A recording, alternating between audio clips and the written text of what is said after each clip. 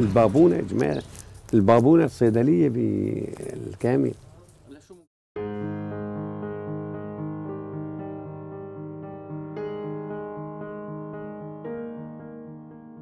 إسماعيل زيتوني آه، أمارس مهنة طب الأعشاب أو الطب البديل.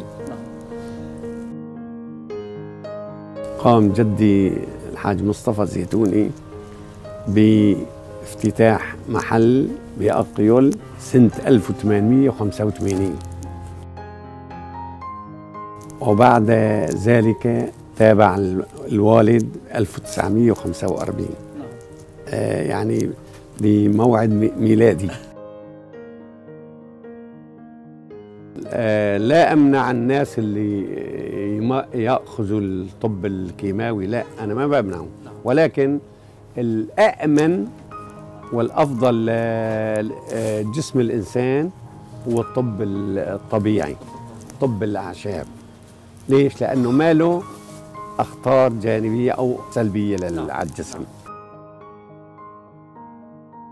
هي البابونة الصيدلية.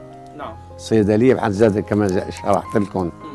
المليسة من المواد المهدئه المهدئه والمنعشه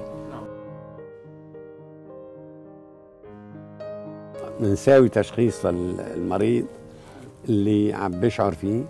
الأشياء الثانية بنشوف التحاليل اللي عنده وبنعطي العلاج المناسب للإصابة.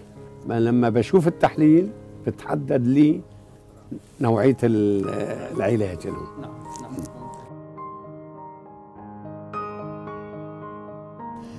أجدادنا وأمهاتنا وهذا كانت تعالج أطفال بهي آه مثلا أنا صار ابني معه مغص.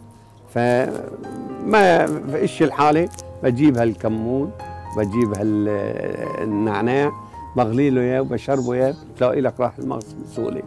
القرفة من المواد المفيد تنشيط الدورة الدموية والموت. هذا يعني كل كل عشبة إلى إلى دراسه ما بصير تيجي تحط عشبه وما بتعرف إيش مكوناتها وإيش تال لأمراض معينة.